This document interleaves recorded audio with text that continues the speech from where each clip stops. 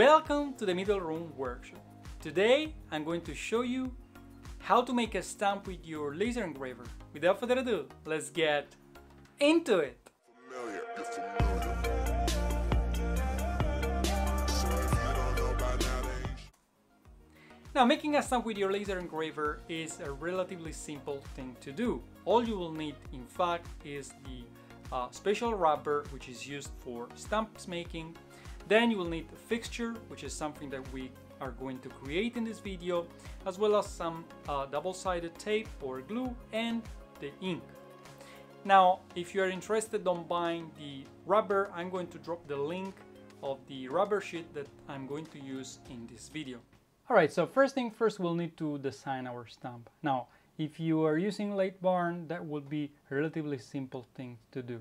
However, if you're using uh, Laser GRBL uh, combined with Inkscape, uh, there will be a little bit of extra processing there. So in today's video, I'm going to show you how to work with Lightburn. Um, and so now we'll need to choose uh, first thing the shape that we want. So either a traditional rectangular or circular, or really since this is your own design, you can basically choose whatever shape you fancy. Um, now in this video I'm going to go for rectangular. Now another thing that you will need to uh, understand is the size that you want. Now if you're intending to apply your rubber stamp into a standardized fixture, uh, then uh, it will be good for you to know what is the size for it. Bear in mind that there are some standardized uh, dimensions for uh, stamps used worldwide. So uh, it is worth uh, checking them up if you want to create a standard sized stamp. Now in today's video I'm going to go uh, with a 38 millimeters wide times 13 millimeters tall. This is a standard sized stamp and we are going to do something simple. Let me put this onto the black layer for now so we can see what we are doing. Um, and let's do something very simple with some text. So middle room workshop to start. And then I'm going to do mid, there we go. Okay, so let's move this here. Let's move it to the center first. Let's make it a little bit bigger. Okay, then I think it's okay. Then control up key to do finite adjustments and the same thing I'll do with this. First I will snap it here to the center and then finite adjustment like this. Alright now something very important here to keep in mind is the type of stamp that you are looking for. Now the traditional stamp is the one that will leave your design and I will fill it right now your design onto the paper. And so that means that your design in this case the writings that you are seeing here, uh, they will be uh, protruding from the surface and everything else will have to be basically removed, okay? Um, however, if we leave the layer uh, the way it is right now, uh, this is basically going to do the opposite. It's going to remove your design uh, and then leave everything else up. Now, there could be a second type of uh, design that you might want to achieve so to basically have ink all around and then to leave uh, the lettering white or whatever the uh, color of the paper happened to be. Now in order to do that we'll need to put everything onto the uh, into our fill layer, in this case is my red layer and as you can see this will basically remove all of the uh, area over here and only leave the uh, lettering as we want. Then uh, another thing to keep in mind is that you will want your stamp to be mirrored. Okay, don't forget that this will need to transfer onto your paper. And so to do that, select everything and mirror it. Okay. And uh, last but not least, if you're dealing with some uh, small details, very weak lettering, okay, there is uh, an option in Lightburn to stiffen the lettering by creating a ramp.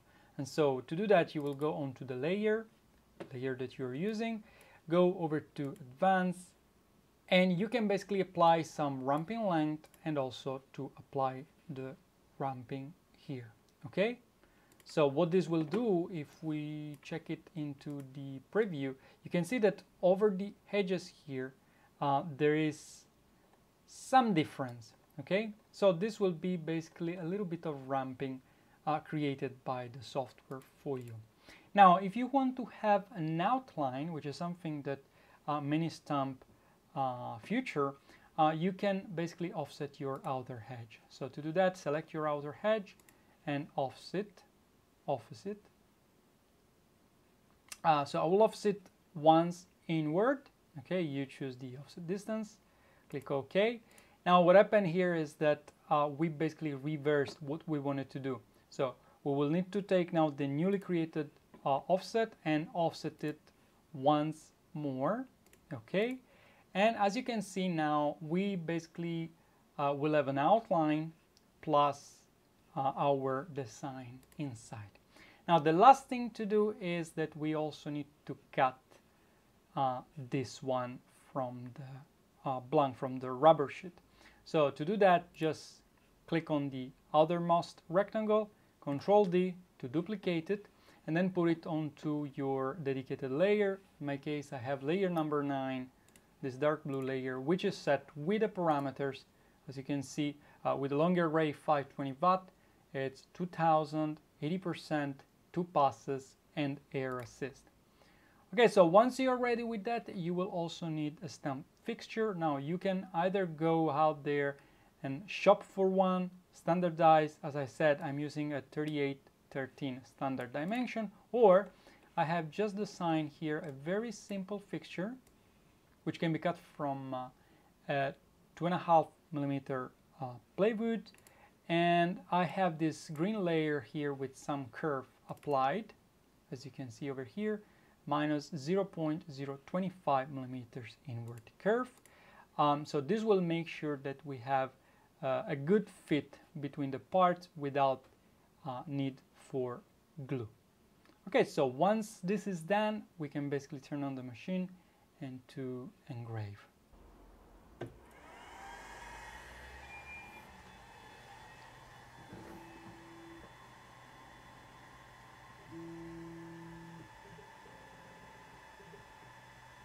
All right, so the machine is now on and we can preview this.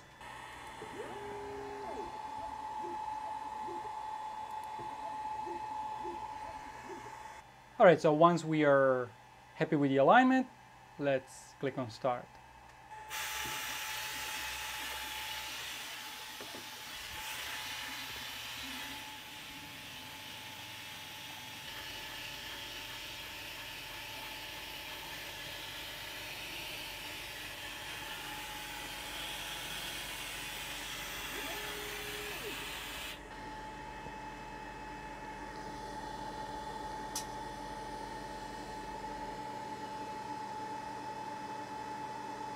Yes, you can see the engraving inside is not so great, but this is basically not going to affect your stamping results. So what you care about is the tiny lettering and the overall design, which is good.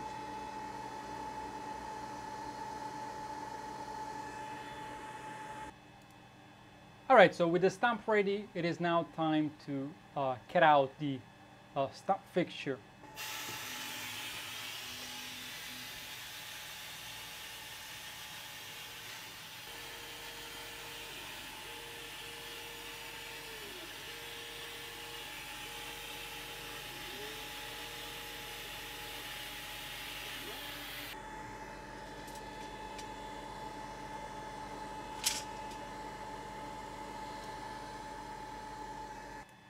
All right, now I'm going to uh, cut and engrave something a little bit different with a different fixture. So I'll put this out of the way and I will bring in this one.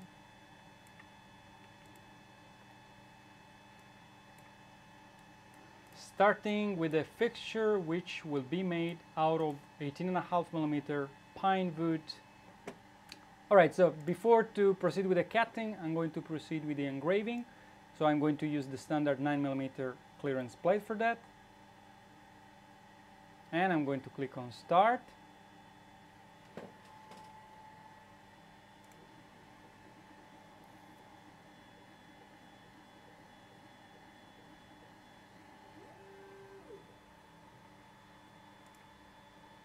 Now with this done, I'm going to change the clearance.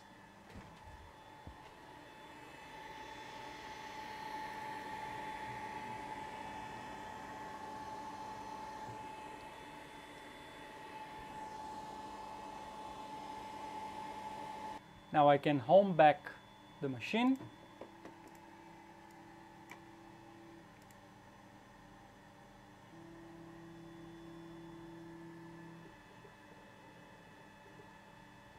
And I can simply start the cutting layer now.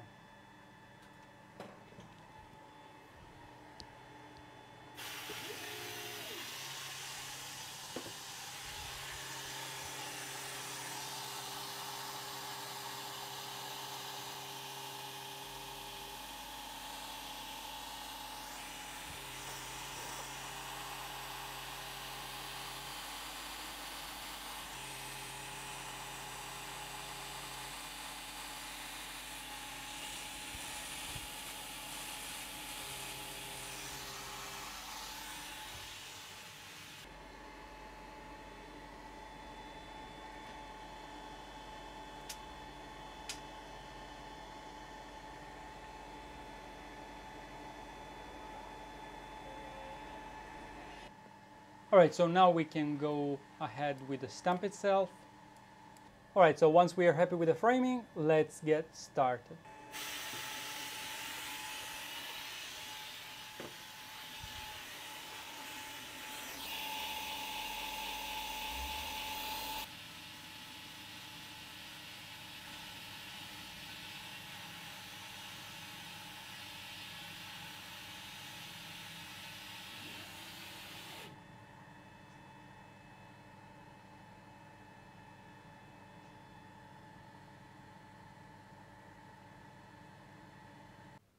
All right, so we can now uh, proceed with the assembly.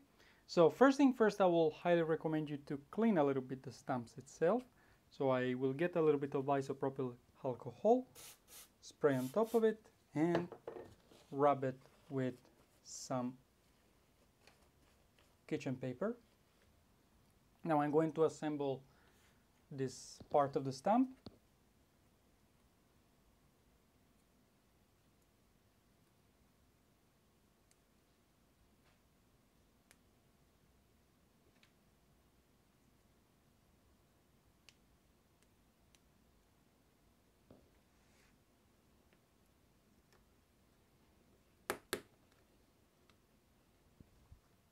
There we go. As you can see, it's a perfect fit and it is also perfectly flushed. Now we can apply a little bit of uh, double-sided tape here on the back side.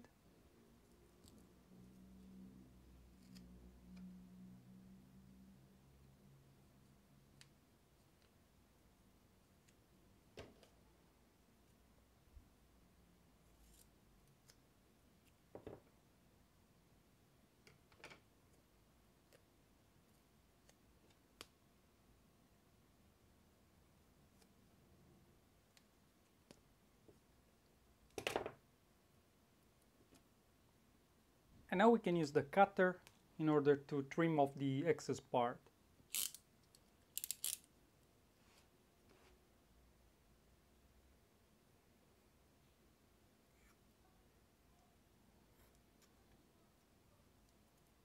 Alright, so we can now apply the first stamp to our custom made fixture here.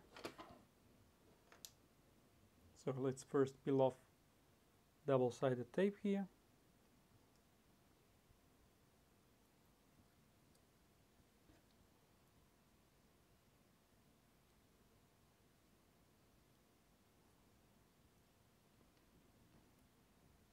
Okay, this is the first one.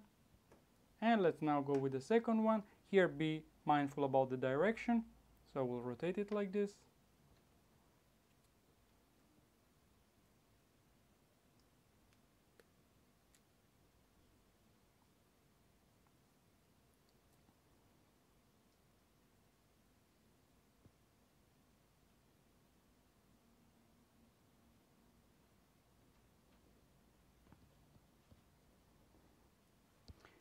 Now it is time for the truth. So let's take a little bit of blank paper, the ink, let's stain it, and let's try it.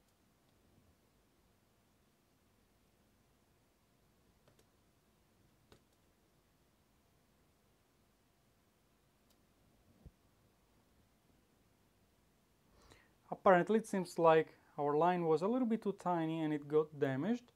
So and I can actually see it here. So this is something that I will need to correct for the next time.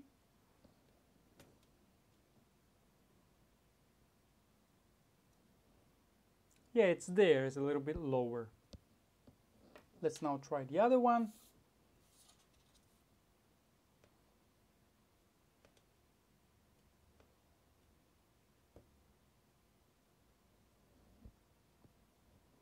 There we go.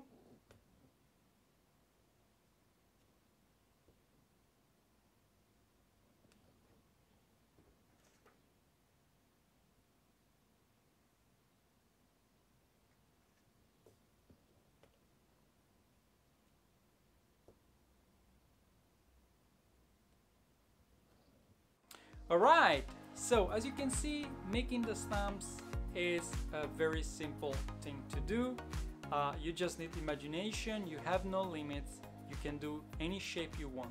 Now, a quick note before to leave you is that you will need to uh, test your particular machine and laser module uh, with a wrapper. One, uh, in order to find the parameters, and second, also to identify how small of details you can work with your laser module. Now, here um, the 5 and 10 watt laser modules will be best suited for very small details and that is because the spot size uh, for these uh, laser modules normally is smaller. While with the 20 and 30 watt uh, laser module the spot size is already larger and so you might be limited into how uh, small you can engrave. But as you can see um, I was able to engrave a barcode a QR code actually, very small one, and some very small lettering and I was also able to scan the QR code without any problems.